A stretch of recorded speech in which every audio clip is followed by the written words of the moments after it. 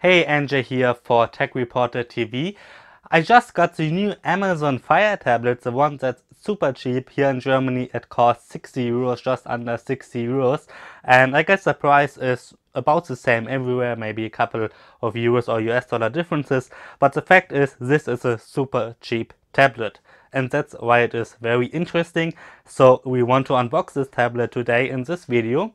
And let's start with the packaging. It's quite interesting as I think it's not the standard packaging of a tablet.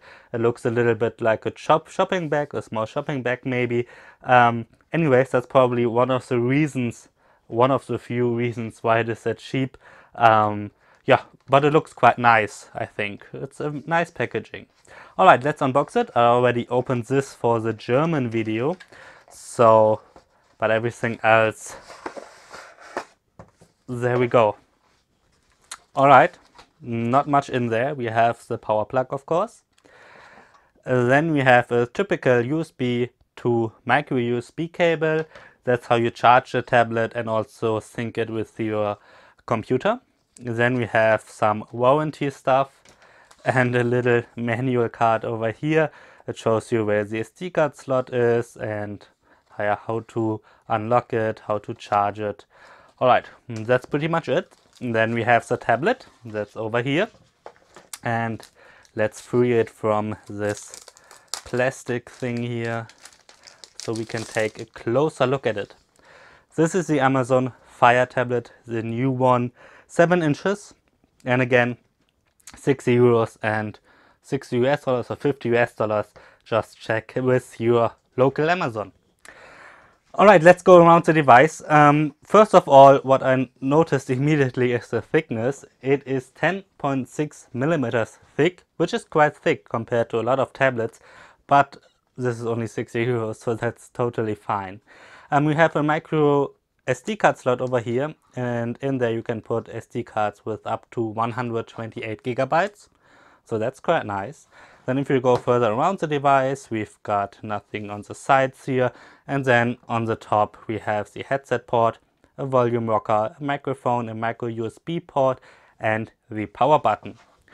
On the back we have a 2 megapixel camera you won't be able to make full HD videos with this one, but 720p videos are fine. I don't know if you want to do it, we have to test the camera, but at least the capability is there. Then we have this Amazon logo imprinted and a speaker at the, on the back as well. Of course, um, everything here is plastic, that's what you can expect with a $60 device.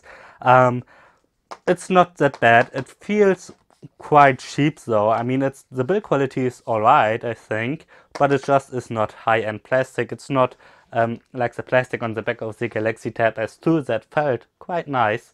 Um, but yeah, this one is only 60 euros.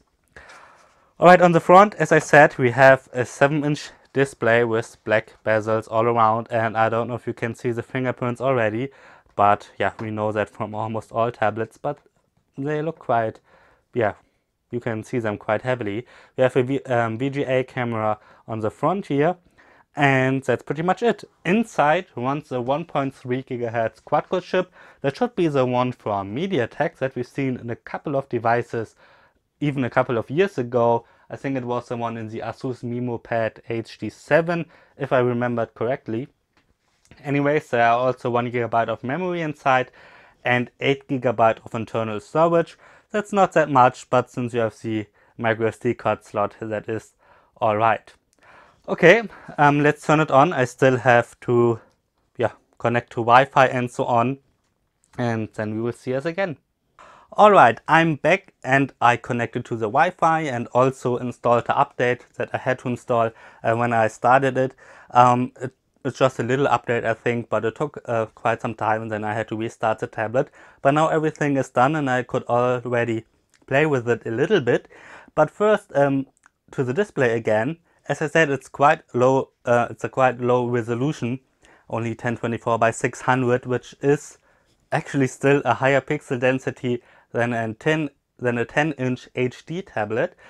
And actually I like this display way more than of the Samsung Galaxy Tab A 9.7 that I had a while back. Um, with that one, the texts look quite unsharp, but this here is actually quite alright. Of course, a full HD display or an HD display would have been better, but this is not too bad, not too bad, not as bad as I expected. The same goes to the viewing angles that are actually quite nice. It's not the brightest display, I already had it in the sun outside and yeah, you won't be able to watch um, Lost or Breaking Bad on the beach with it. Um, that's just the, the display is just not bright enough, but inside it's alright. Um, what I also notice is that there is, how do you call it in English, light leaking. When you have a dark background, for example, then um, the light bleeds through the edges. Um, yeah, that's not that nice. It's not too bad either. But yeah, that's maybe what you should expect from a 60 euro tablet. Otherwise, the display is actually, as I said, it surprised me a little bit. I expected it to be way worse. Alright, let's take a look at the software. On here runs Android Lollipop actually, even though it doesn't look like that, but it is Lollipop. Amazon calls this Fire OS.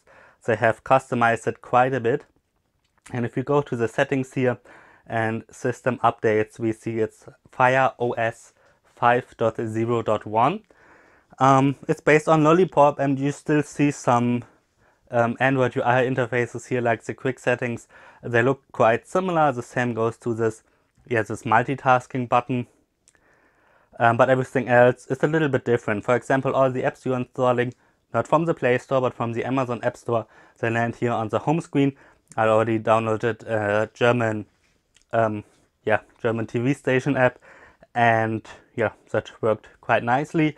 A lot of apps you can find in the App Store from Amazon, but of course not all of the apps that are available in the Play Store.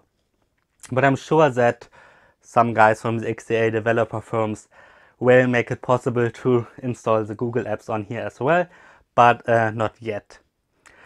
Let's take a closer look at the interface. Um, if you swipe through the to the right, you see ebooks that you might have bought or that you have in your library, then videos from Instant Video, then you can install games from the Amazon App Store.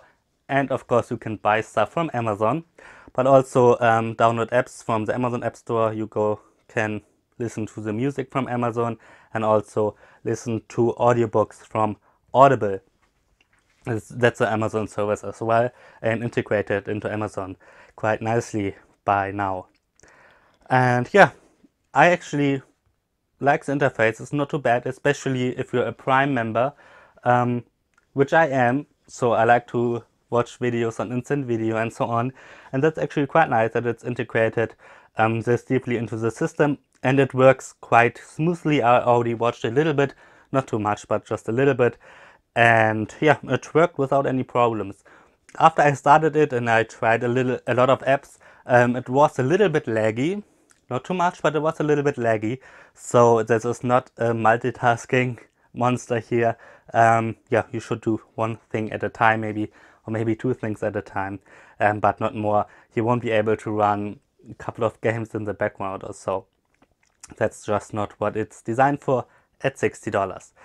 Um, there are a couple of apps pre-installed. We have the special ads here from Amazon and so on. Um, the Silk browser, it's the own browser from Amazon. We won't have Chrome on here or any other browser. That's the own browser of Amazon and I googled for uh, black backgrounds here. I didn't Google it. Bing is pre preset as the main search engine. You can change it to Google or Yahoo though. Um, yeah, I was looking for black backgrounds to, to, see the light bleeding on the edges, which are there as I mentioned. Yeah, overall, um, this is quite a nice tablet, I think, especially for 60 euros. Um, it surprised me a little bit that you can actually use it. Of course, the build quality it's not that good. I wouldn't drop it on a stone surface or anything on the ground. Um, but it's actually built quite solidly. It feels cheap because it is cheap. Um, but yeah, I think for 60 euros or I don't know if it's 50 US dollars in the United States. Anyway, the price, what you get for the price is quite impressive, I think. So if you are using the services from Amazon like Instant Video and so on, then this is quite a nice tablet, quite a nice cheap solution. There are a couple of competitors of course, like the Asus ZenPad C 7.0 That one should be available for 99 US dollars. It's not available everywhere yet, but in Taiwan, I also think in the United States, there you can get it already. Um, it has quite similar hardware to this, but it runs um, standard Google Android. So if you don't use the Amazon services and want a Google Android tablet, then maybe you should choose the Asus ZenPad C7.0, which is not that much more expensive. Alright, this is a quick hands-on and unboxing video with the Amazon Fire tablet. If you have any questions, um, just write me in the comments and yeah, subscribe to this YouTube channel please for further videos about the Fire tablet and other new devices that will be released in the next coming weeks. I'm NJ for Tech Reporter TV. Thanks for watching.